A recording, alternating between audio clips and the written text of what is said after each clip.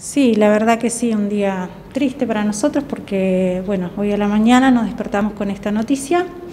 Este, bueno, vinimos a la escuela, encontramos eh, varias cosas destruidas, armarios abiertos, material de los docentes tirados, material de los mismos alumnos destrozados.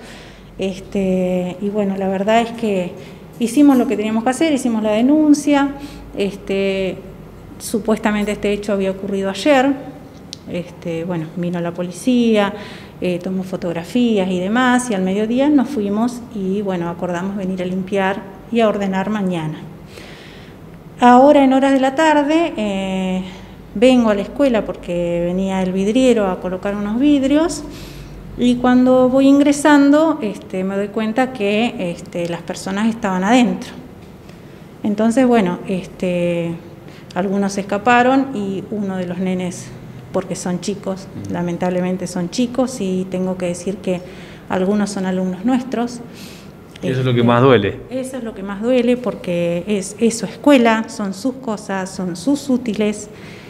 Y bueno, que reaccionen así, que por ahí no valoren lo que, lo que hacemos, porque si bien estamos en una etapa de pandemia, este, los maestros realmente están haciendo cosas eh, siguen con sus clases, eh, por, la situación por ahí económica del barrio, los chicos no tienen computador, entonces hay docentes que, que le acercan las actividades a la casa, que les sacan fotocopia de su dinero para que los nenes no tengan que gastar, y realmente hacer todo eso y que nos devuelvan de esta manera realmente duele. Sin duda, es un golpe muy bajo. Sí, la verdad que sí, pero bueno, nos quedamos con con que no son todos, eh, tenemos familias que realmente nos acompañan y que, y que, bueno, que están y que cuando necesitamos y cuando tienen que colaborar están, este, pero bueno, lamentablemente eh, hay algunos pocos que realmente actúan así y bueno, producen este tipo de cosas. ¿Y qué hay de los padres? Probablemente hasta sean también exalumnos de la escuela. Y sí, los padres conocemos nosotros las familias, este, los nenes han sido alumnos nuestros desde primer grado, inclusive hemos tenido hermanos más grandes, este, las familias se han acercado a la escuela, pero bueno, son nenes que prácticamente este, por ahí no, no están por ahí muy cerca de, la familia ni, de escolarizarse y entonces todo eso trae una consecuencia. ¿no? Sandra, ¿también hay faltantes de elementos de valor?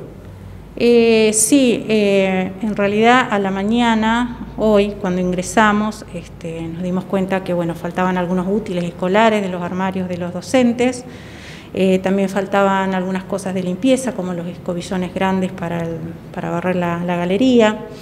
Y ahora a la tarde este, observamos que nos faltan herramientas, este, juegos de llaves, y eso bueno realmente nos preocupa porque tiene valor alto eh, nos preocupa porque si tienen llaves de la escuela en su poder este, hablábamos de llaves de las, puertas claro de llaves de puerta de manojos de llave entonces este es como que estamos más expuestos digamos claro.